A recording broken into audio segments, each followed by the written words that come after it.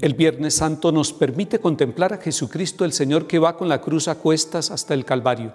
Y nos narran los evangelistas que al llegar al monte del Calvario, que significa monte de la calavera, crucifican a dos malhechores, uno a la izquierda y otro a la derecha, y que en la cruz de Jesús hay una inscripción, INRI, Jesús Nazarenus Res Judeorum, Jesús Nazareno, el Rey de los judíos.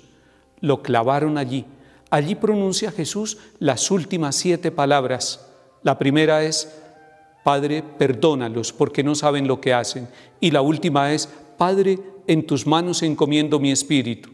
Allí junto a la cruz de Jesús está María, su madre, y está un grupo de mujeres.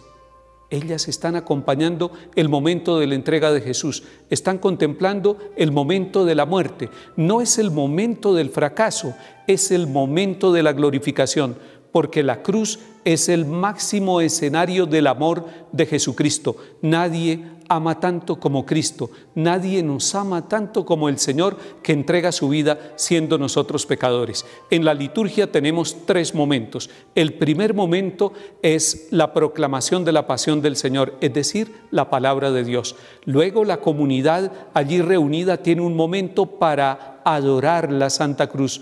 Te adoramos, oh Cristo, y te bendecimos que por tu Santa Cruz redimiste al mundo. Y el tercer momento es la distribución de la Sagrada Comunión que se ha reservado desde el jueves santo, porque el Viernes Santo es el único día del año en que no se celebra la Eucaristía. Son los tres momentos, proclamación de la palabra, adoración de la Santa Cruz y distribución de la Sagrada Eucaristía.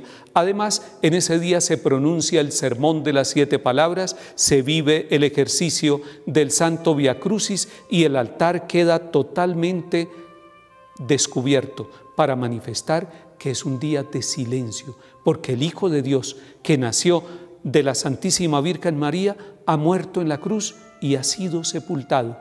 Es el viernes que nos une y que une a Cristo Jesús con todos nosotros, con los hombres y mujeres de todos los tiempos que estamos llamados a la vida, pero que un día tenemos que morir.